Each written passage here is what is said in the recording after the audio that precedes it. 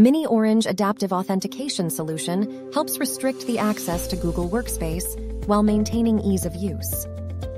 The security levels can be tailored to individual users based on their risk profiles and level of access.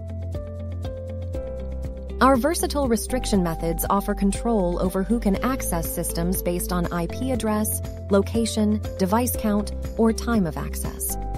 If you're using our Google Marketplace listed app, miniOrange makes it easy to enable adaptive authentication. By following this guide, you can upgrade your security and protect your sensitive data like never before. First, you need to install the miniOrange integration for G Suite from the G Suite Marketplace. The link for this is given in the description below. Once the app is installed for your G Suite account, you can initiate the login from the Apps section. This will open the dedicated Xecurify admin dashboard for your admin account, using which you can configure and enable single sign-on as well as restriction for your G Suite users. First of all, you will have to set up branding for your account. Go to the branding section from the side menu to set up a dedicated branded subdomain for your account in our solution. You can customize the login page by changing the heading, background color, button color, and logo to make it consistent with your company's brand guidelines. In basic settings, set the organization name of your choice.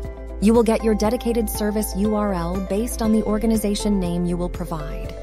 You can also set button color, background color, and many more from here. In the Logo and Favicon section, you can upload logos and favicons for your branded URL. And from the User Sign Up field sections, you can manage the required fields that must be filled in the sign up forms. And then save the settings.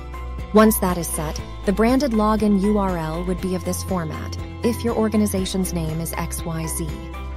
Once the branding is set for your organization, you are ready to enable single sign-on and restrictions. Go to the G Suite SSO settings from the side menu. Here you will be able to see the current status of the single sign-on. It will be disabled by default when you create a new account.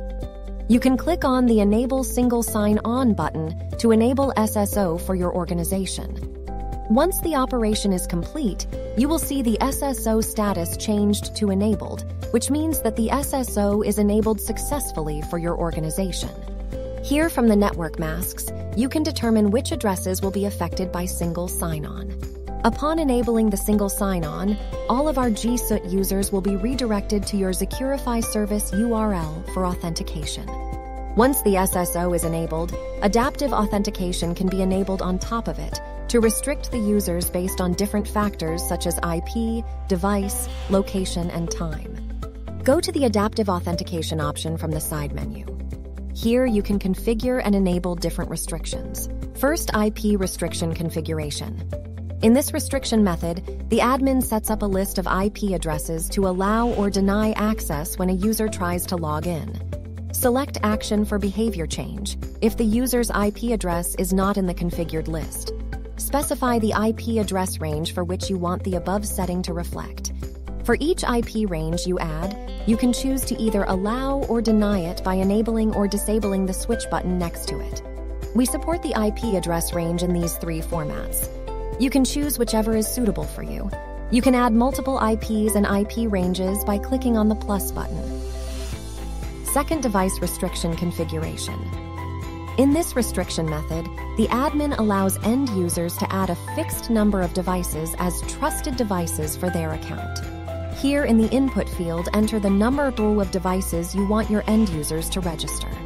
Select your action if the number of devices registered by users exceeds the allowed limit. You can also enable the option to send email alerts to users if you want to alert the user about num of devices exceeding the limit. Third location restriction configuration. In this restriction method, the admin configures a list of locations where we want to allow end users to either log in or deny based on the conditions set by the admin. Here in the input field, enter the location name. Add the in and around distance for your location. You can click on the plus button to add more than one location. Fourth, time restriction configuration. In this restriction method, the admin configures a time zone with start and end times for that time zone, and users are either allowed, denied, or challenged.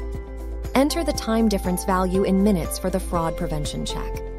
Select the time zone from the list and enter appropriate values. You can click on the plus button to add more than one time configuration. Fifth, Action for Behavior Change Configuration. Here, you can configure one of the three possible actions for our adaptive authentication policy. Select the challenge type option from here. Sixth, Notification and Alert Message Configuration. This section handles the notifications and alerts related to adaptive authentication. It provides the following options. The next subsection is Send Email Alerts, allowing you to enable or disable alerts for admin and end users. You can also customize the deny messages from here, then click on the Save button.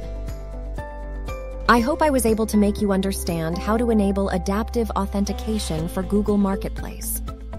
If you have any questions, do let us know in the comments section, or you can directly connect with us at idpsupport at xecurify.com.